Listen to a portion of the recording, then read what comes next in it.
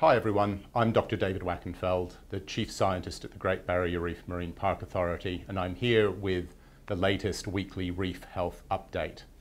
The headline this week is very much that the risk of coral bleaching on the Great Barrier Reef does still remain. Over the last week or so, our observations of bleaching that is already happening have been consistent with what we had been seeing. So we've had particularly aerial and vessel surveys out there and in large parts of the inner and middle parts of the reef in the far north, parts of the inner central Great Barrier Reef, and parts of the inner southern Great Barrier Reef are the places where we have seen the most bleaching.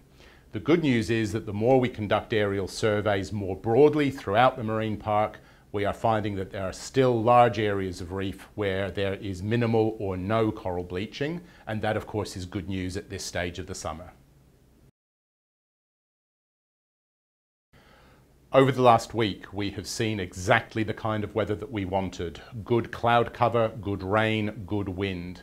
And data from the Australian Institute of Marine Science indicate that everywhere where we have information, this is from in-water measurement of water temperature, there has been some quite substantial cooling of surface waters by as much as one and a half to two degrees. So that is great news. That's exactly what we wanted to see.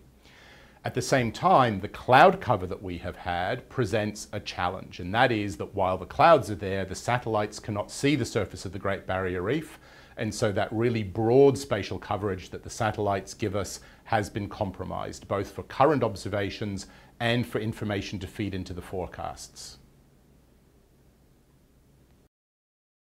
The forecasts that we have, both from the Bureau of Meteorology and from NOAA, indicate that for the rest of February and into March, we will still see substantial heat stress on the Great Barrier Reef. But because the satellite's view of the reef has been compromised by cloud cover, those forecasts may be an overestimate, and we will have to watch that very carefully in the coming days. Now, at the moment, the cloud cover is clearing. Most of the Great Barrier Reef is clear now. The satellites are starting to get a better view of what is happening on the surface of the ocean in the Great Barrier Reef, and so we'll get better and clearer information from the satellites in coming days, and obviously we'll be analysing that very closely. So this is still a critical time for the Great Barrier Reef, and it is the local weather conditions over the next few weeks that will determine how much bleaching we see and where. More than ever, please help us out.